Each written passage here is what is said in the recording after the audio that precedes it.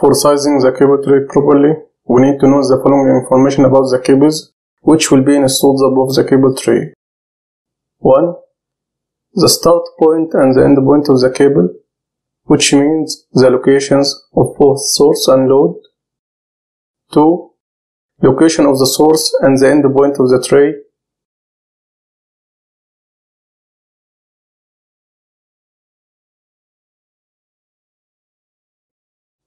3. The arrangement of the cables on the tray based on the load's locations.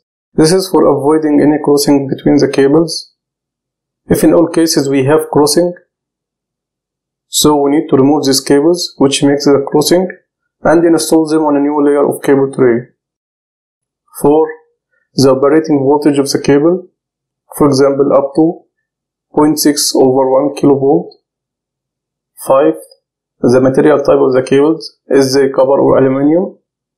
Also, the insulation types for the conductors and their outer sheaths of the cable. 6.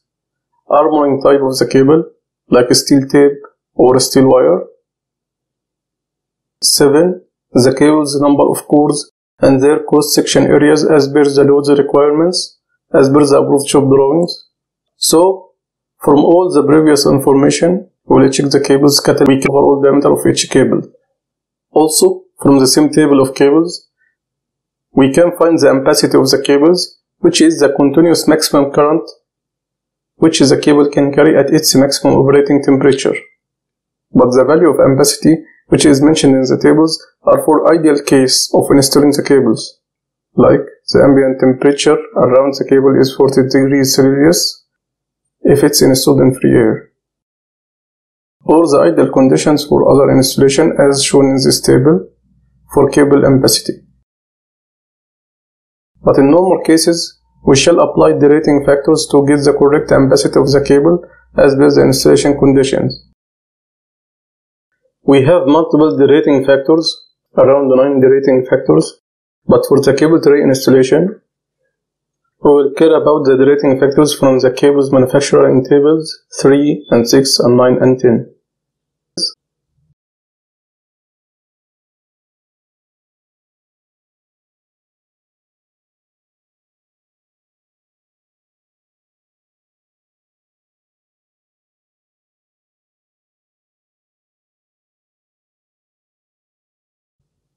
As shown in table 9, we have three cases of cables installation.